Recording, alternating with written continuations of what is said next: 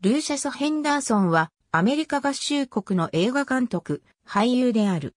本名ルーシャス・ジュリアス・ヘンダーソン。作品によっては、ルーシャス・ジェイ・ヘンダーソンとも名乗った。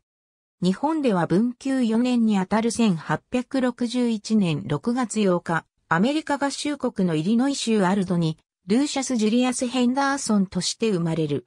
クラシック音楽の教育を受けた音楽家となるが、まだ20代であった1880年代に舞台俳優に転向する。1891年に米国で公演したピアニストイグナツィ・パデレフスキを風刺するようなボードビルで各地を回るようなこともしている。1910年、ニューヨークのタンハウザーカンパニーに入社、俳優として映画に出演し始める。1911年、ルーシャス・ジェイ・ヘンダーソン名義の名で監督したウェン・ラブ・ワズ・ブリントが記録に残る最古の監督作である。1913年には一座を引き連れてカリフォルニア州ロサンゼルスに移ろうとするが、すぐにニューヨークに戻っている。1915年、ユニバーサル・フィルム・マニファクチャーリング・カンパニーに入社する。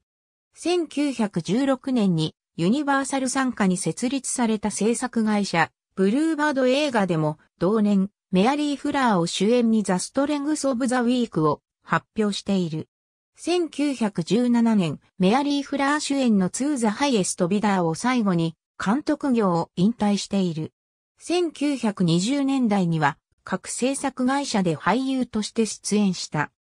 1942年、ラムズクラブの最古参会員として晩餐会が開かれ、表彰されている。1947年2月18日、ニューヨーク州ニューヨーク市で死去した。満85歳没。ありがとうございます。